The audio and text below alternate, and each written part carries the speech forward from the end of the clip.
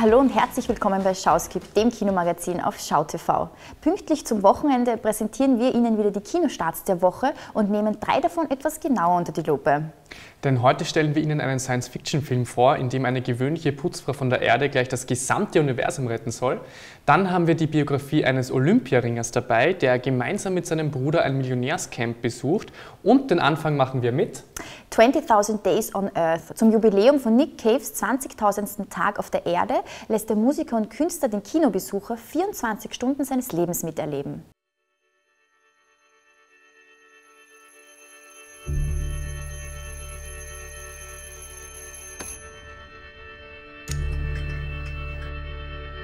At the end of the 20th century, I ceased to be a human being. Do you ever have that sense of being an outsider? Do you love performing still?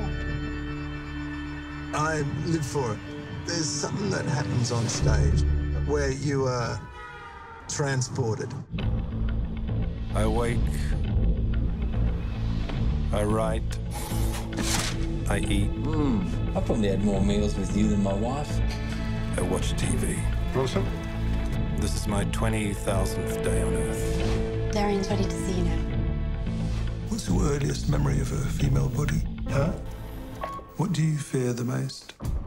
It does worry me that I'm not going to be able to continue to do what I do and reach a place that I'm satisfied with. In a sense?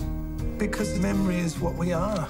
Your very soul and your very reason to be alive is tied up in memory. Those moments when the gears of the heart really change. Should we stop there? I'm transforming. I'm vibrating. I'm glowing.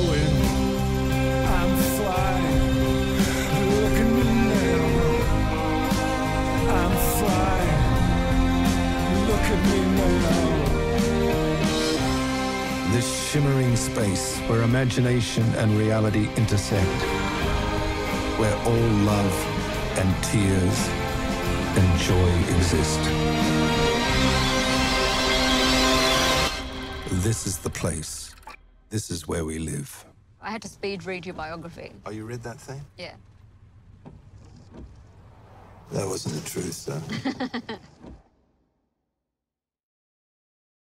Warte mal, 20.000 Tage?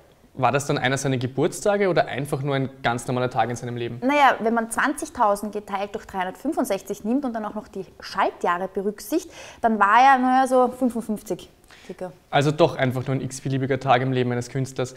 Der Film ist aber dennoch keine gewöhnliche Dokumentation, sondern ein überraschend ehrliches Musikerporträt über Nick Cave selbst, das auch sehr intime Einblicke in seinen künstlerischen Schaffensprozess liefert. Ja, ein interessanter Einblick hinter das Ganze ist nämlich auch, dass der Film eigentlich am Anfang nur eine Promoaufnahme für sein Album Push the Sky Away hätte werden sollen. Cave war während aber der Arbeit von den beiden Regisseuren Forsyth und Pollard so angetan, dass er ihnen dann anbot, die Idee weiterzutreiben und einen Kinofilm daraus zu machen. Nämlich einen Kinofilm, der 2014 auf dem Sundance Film Festival sogar für die beste Regie und den besten Schnitt ausgezeichnet wurde. Und auch wenn man den Film in Großbritannien schon als Blu-ray auf Amazon kaufen kann, ist es für wahre Nick Cave-Fans wirklich ein Muss, diesen schon jetzt im Kino zu sehen. Ja, und alle Nicht-Nick Cave-Fans können sich vielleicht noch ein bisschen gedulden, bis er auch bei uns als DVD erhältlich ist. 20.000 Days on Earth, ab jetzt im Kino.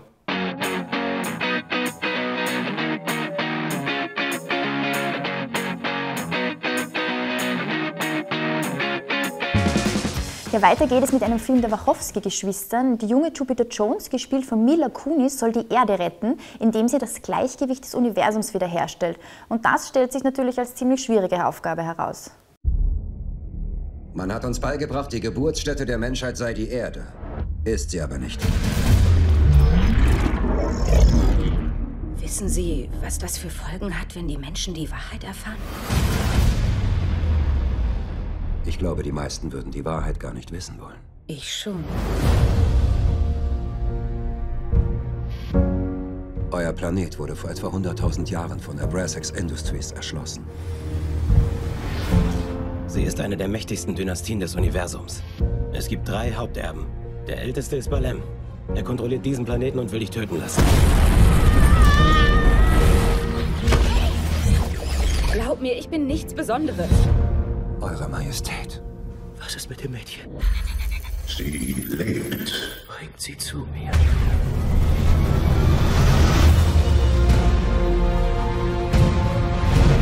Wenn exakt dieselben Gene in exakt derselben Reihenfolge wieder erscheinen, nennt man das Reinkarnation. Euer Majestät Leben wird sich verändern, wenn sie es wünscht. Ich bin noch immer dieselbe. Noch besitzt Balem das Anrecht auf die Erde. Wenn ihr es beansprucht, wird die Erde euch gehören. Eher lasse ich diesen Planeten verwüsten, als ihn mir von ihr nehmen zu lassen. Hast du so etwas schon mal gesehen? Noch nie, aber es heißt, sie verspürten keine Schmerzen. Erschießt sie!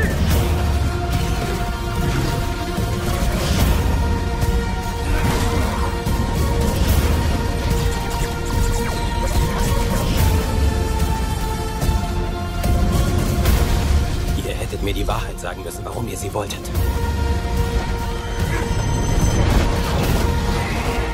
Dieser Planet gehört mir. Jetzt nicht mehr. Eure Majestät, mit einem Hund habe ich mehr gemein als mit euch. Ich liebe Hunde. Ich habe Hunde immer schon geliebt. Es geht los.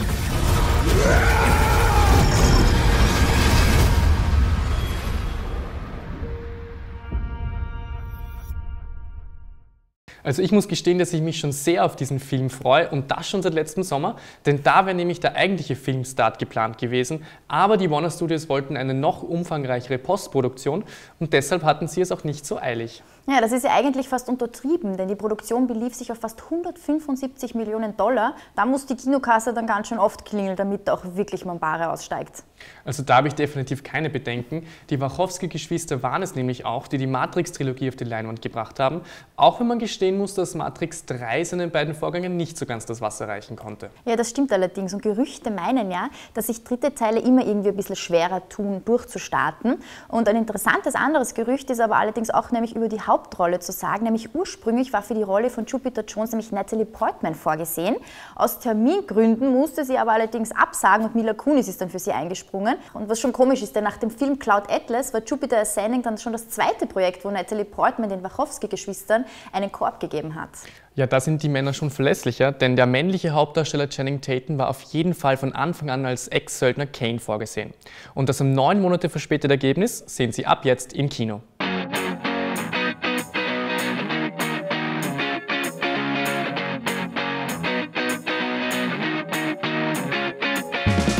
Ja, und damit kommen wir auch schon zu unserem letzten Filmstart der Woche. Wir haben Glück wieder ein Film mit sexy Channing Tatum. Dieser handelt von dem exzentrischen Multimillionär John Depot, der als Mentor und Sponsor einen Olympiaringer unterstützt. Ja, Foxcatcher, ein Film beruhend auf einer wahren Begebenheit. Was hoffen Sie zu erreichen, Mark?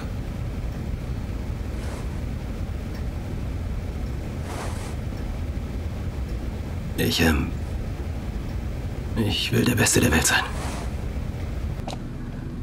Ein paar Grundlagen. Das ist etwas, das bei mir immer sehr gut funktioniert. Der Armhebel. Rechter an die linke, links nach rechts, dann rüberreißen. Und wenn ich das mache, dann sieht man diese Stelle hier. Dranbleiben!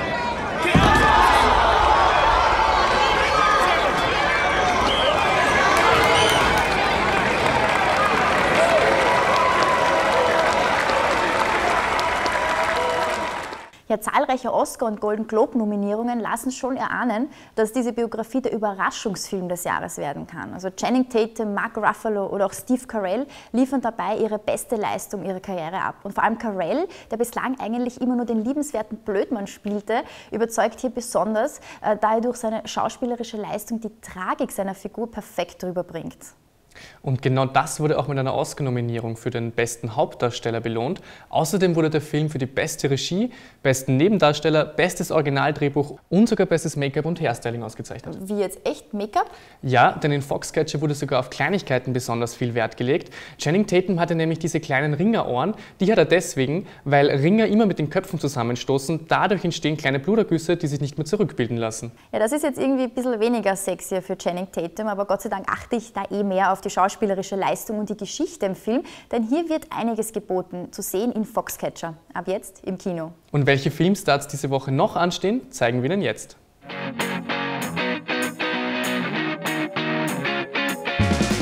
Die süße Gier. Ein Film unter der Regie von Paolo Virsi, in dem die Habgier eine große Rolle spielt. Der unbändige Traum eines kleinen Immobilienmaklers vom rasanten sozialen Aufstieg und viel, viel Geld. Der sehnliche Wunsch einer reichen, gelangweilten Ehefrau nach Respekt und Anerkennung und die vehemente Suche einer selbstbewussten Teenagerin nach Identität und der wahren Liebe. Das Interview. Dave, gespielt von James Franco, und Aaron, gespielt von Seth Rogen, erhalten die Chance, ein Interview mit dem nordkoreanischen Diktator Kim Jong-un zu führen. Kurz vor ihrer Abreise nach Nordkorea nimmt die CIA Kontakt zu Dave und Aaron auf und bittet sie, Kim zu ermorden. Sie nehmen die Mission an, auch wenn sie die am schlechtesten qualifizierten Männer aller Zeiten für diesen Job sind. Also ich glaube, da ist für jeden Geschmack was dabei. Auf ich. alle Fälle. Und jetzt kommen wir noch zu unserer neuen Kategorie Filmquiz. Genau, wir stellen Ihnen jede Woche eine Frage zu den aktuellen Kinostarts und Sie erraten dann, welchen Film wir suchen. Diese Woche ist es diese Frage hier.